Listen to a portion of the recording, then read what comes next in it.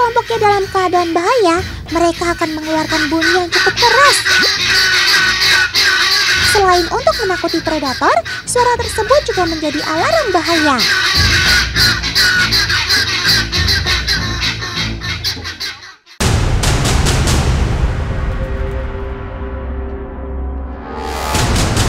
Sob, jangan serang si hitam dong. Kalian kan bersaudara.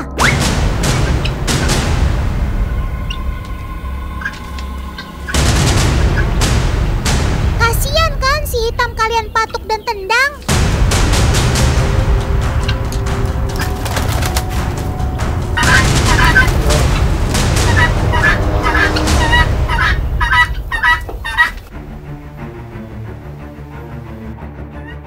Teman, mereka punya sifat teritorial. Mereka akan merasa terganggu kalau ada ayam lain di luar kelompoknya, kemudian mendekat atau masuk ke wilayahnya.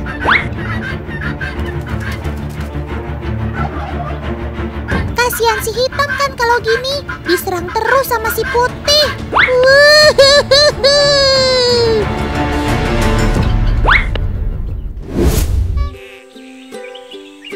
Sob, kenapa di tubuh kamu banyak totol-totol putih sih?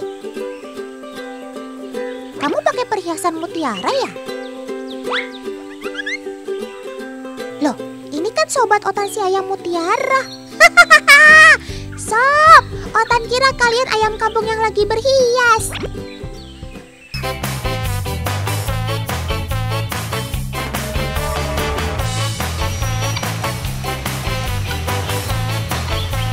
Teman, unggas cantik ini berasal dari benua Afrika.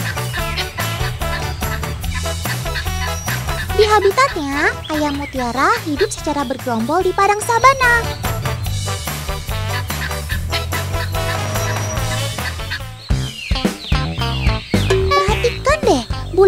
Dihiasi dengan bintik-bintik seperti mutiara.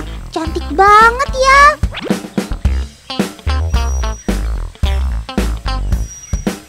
Jenis ayam mutiara ini dibedakan menurut warna dan juga bulunya, teman. Kalau ayam mutiara yang ini termasuk ke dalam jenis ayam mutiara abu-abu. Selain keindahan bulunya, ada lagi nih keunikan yang terdapat pada tanduknya.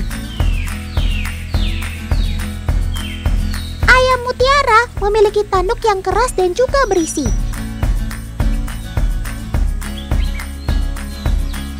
Di habitatnya, tanduk ini digunakan untuk menerobos semak-semak.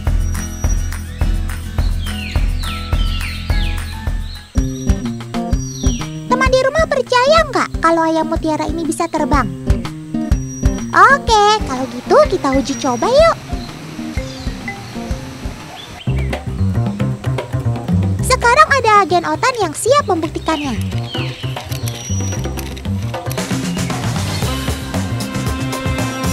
Oke, semuanya sudah siap. Satu, dua,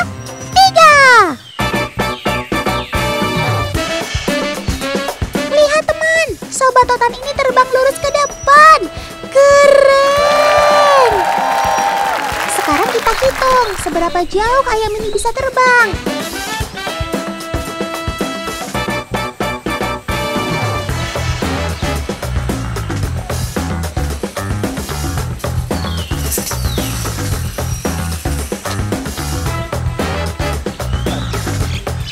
meter. Apa? Ternyata kamu bisa terbang sampai jarak 17 meter. Wah. Jauh juga ya, Sob.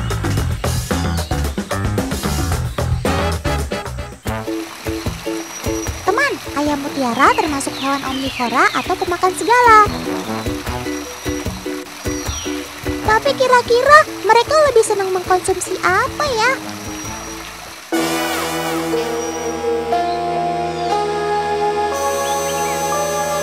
Daripada menduga-duga, sekarang kita tes aja yuk. Siapkan sayuran, jagung, dan serangga. Kita lihat apakah mereka lebih tertarik kepada warna atau sesuatu yang bergerak.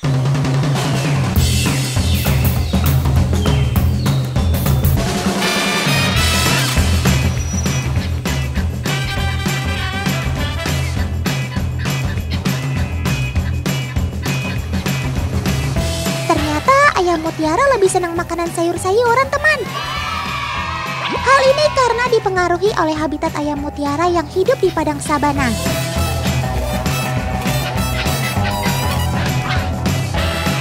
Dan makanan selanjutnya yang dipilih adalah jagung.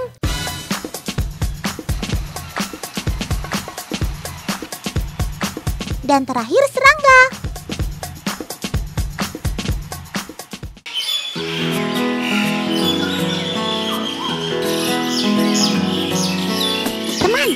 Beberapa jenis ayam mutiara yang kita kenal di Indonesia. Salah satunya ayam mutiara jenis Volterin.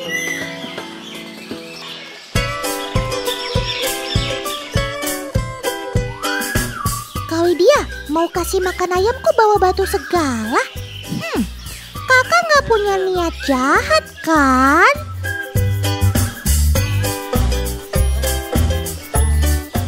Tuh kan bener, kok ditutupin batu sih kak? Kalau begini si ayam mana bisa makan?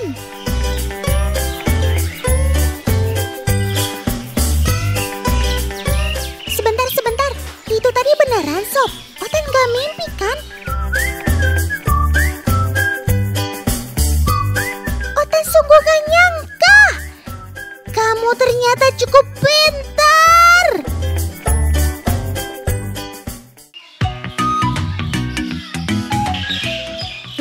Paman Editor, ini kan bukan gambar ayam mutiara Voltorin. Ini kan si Gutera. Tanggung sob, karena kamu sudah in frame alias sudah masuk TV, mending sekalian Notan kenalin deh sama teman-teman Notan di rumah. Ayam Gutera merupakan salah satu jenis lain dari ayam mutiara teman. Yang paling unik dari ayam ini adalah hiasan kepala layaknya jambul. Ingat, ini bukan jambul katulistiwanya Tante Syahrini ya teman.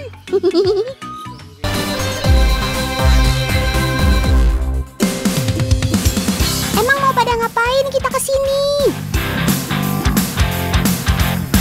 Tan, ini kita mau berburu nih.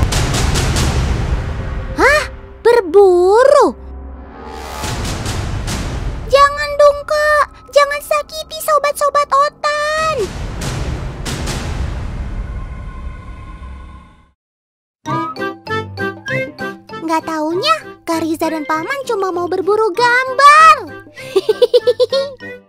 ya tentu saja, kalau tambak dikuras, otomatis burung-burung pada kumpul. Karena saat air surut, terdapat banyak makanan bagi burung-burung ini. Tuh lihat di sana, burung-burung banyak beterbangan.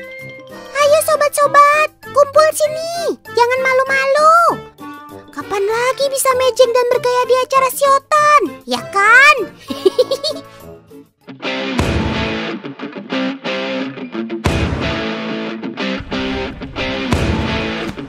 Wih, peralatannya Paman Yoci mantap. Kamera dan alat-alat ini sih mantap banget. Profesional gitu. Lensa kameranya gede banget. Kalau pakai ini sih, kita bisa meneropong lebih jauh. Paman Yoce menjalankan ini hanya sekedar hobi atau pekerjaan. Hmm, kalau orang sudah cinta sama hobi, memang benar-benar tidak bisa dicegah ya. Hobinya pasti diseriusin.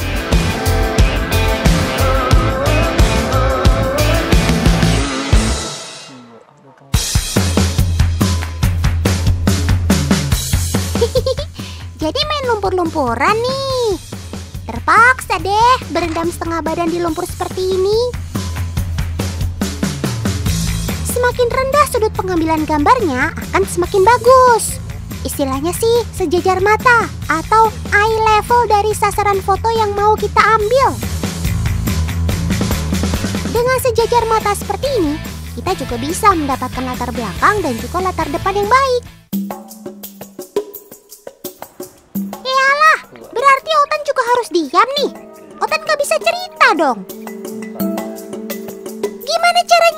Cerita ke teman-teman di rumah kalau nggak boleh berisik? Iya kak, iya kak. Maaf kak, maaf. Otan akan pelan-pelan aja deh suaranya. Bisik-bisik itu deh. Teman-teman di rumah juga jangan pada berisik ya. Sabar, sebentar lagi burung-burung kuntulnya akan mendekat. Hei itu, beberapa dari mereka mulai mendekat. Sobat otan yang itu adalah jenis burung kuntul besar. Mereka banyak ditemukan di sawah, kawasan bakau, dan juga gosong lumpur dan pasir. Mereka memang pemakan ikan, udang, dan larva capung. Kalau ada perairan yang surut seperti ini, persediaan makanan mereka bagikan mudah didapat. Tuh, tuh, kayaknya menemukan banyak makanan. Nah, nah, nah, nah, nah, nah, nah, cepret! Cepret! Asik, Paman Yoce dan Karisa mulai dapat gambar-gambar bagus.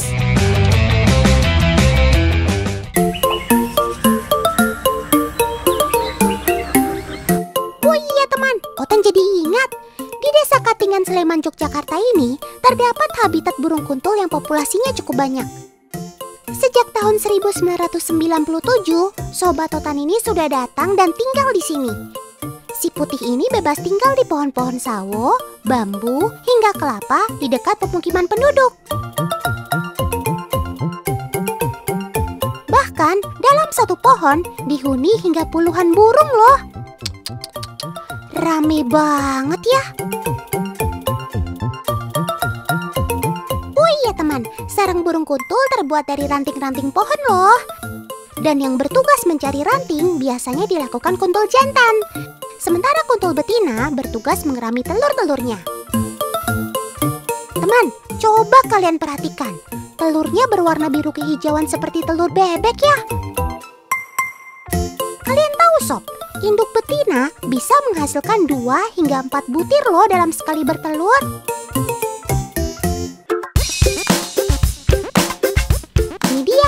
Burung kuntul. Imut-imut banget kan? Saat baru lahir seperti ini, mereka harus terus diawasi. Mama dan papanya tidak bisa meninggalkannya berlama-lama. Hati-hati sayang, jangan main di pinggir-pinggir sarang gitu dong.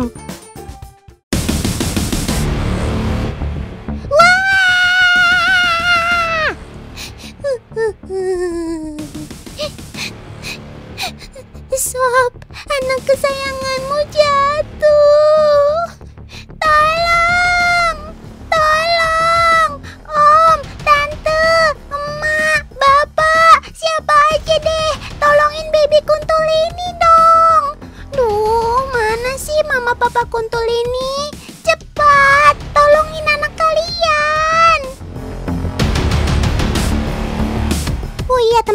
Kalau sudah terjatuh begini, induknya tidak bisa berbuat apa-apa untuk menolongnya. Kasihan banget sih nasib kamu dedek bayi. Wah, sekarang masalah lebih besar mendekat nih. Hush, hush, hush. Sana, sana, sana, sana. Pahit, pahit, pahit, pahit, pahit, pahit.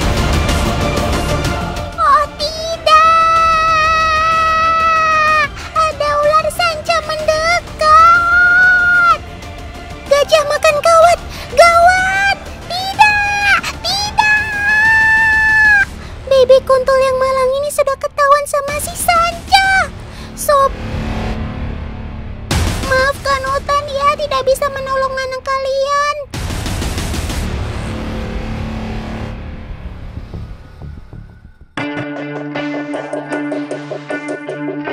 Beginilah hukum di kehidupan teman. Siapa yang kuat, dialah yang berkuasa. Terkadang orang tua burung kuntul tidak mampu melindungi anak yang sudah susah payah mereka besarkan. Iya sih, yang sabar ya sob. Semoga kamu segera diberi keturunan lagi.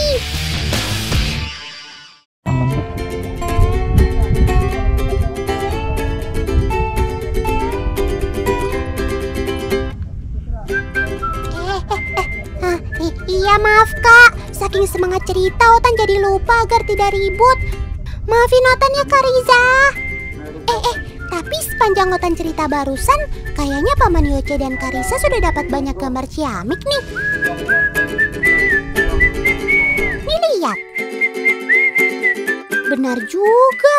Kalau lebih dekat, kalau dapat sudut gambar terbaik, kalau ditunjang peralatan yang memadai, dan juga kalau berada di tempat yang tepat, kita bisa dapat gambar-gambar foto yang dahsyat.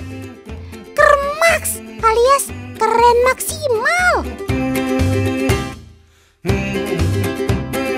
Wah, nggak kerasa hari sudah menjelang sore. Burung-burung kuntul sepertinya sudah mulai berpindah tempat.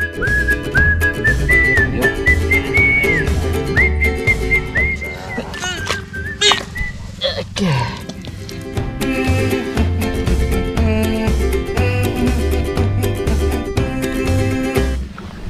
Pindah ke mana Kak Riza? Hah?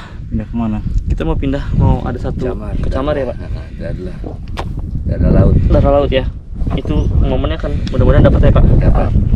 Dada darahnya udah nggak ada soalnya di sini. Nah, Dia Oke. okay. nangkring semua. indikator ke- kuntulnya buat kuntur udah nggak ada ya, Pak? Cuman ini kita susah banget ya.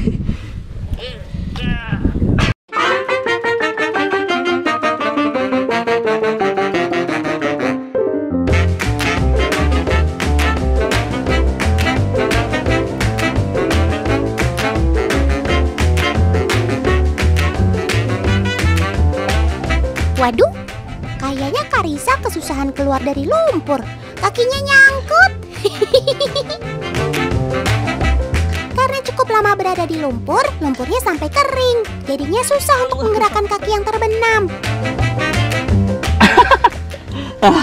Udah kaki aja lah. Tuh kan, sepatunya malah ketinggalan. Ayo kak, semangat. Udah gitu. Ah, udah. Ya biarin lah, tinggal dulu yang penting. Kaki dulu coba lepas.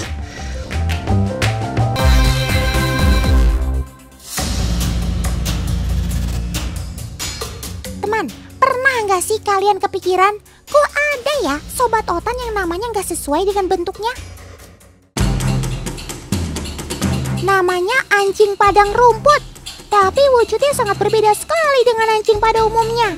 Nah lu, kok bisa sih? Sebenarnya, sobat otan ini adalah hewan pengerat yang masih berkerabat dengan tupai. Sobat otan ini hidup di padang rumput di Amerika Serikat, Kanada, dan Meksiko. Walau memiliki nama anjing, sebenarnya hewan ini bukanlah anjing teman. Mereka disebut demikian karena bisa menggonggong layaknya seekor anjing. Pada nggak percaya? Yuk kita dengar suaranya saat mereka menggonggong. Nah, sudah dengar sendiri kan suaranya? Sekilas memang mirip dengan anjing. Suara tersebut mereka gunakan sebagai media komunikasi antara sesama kelompok.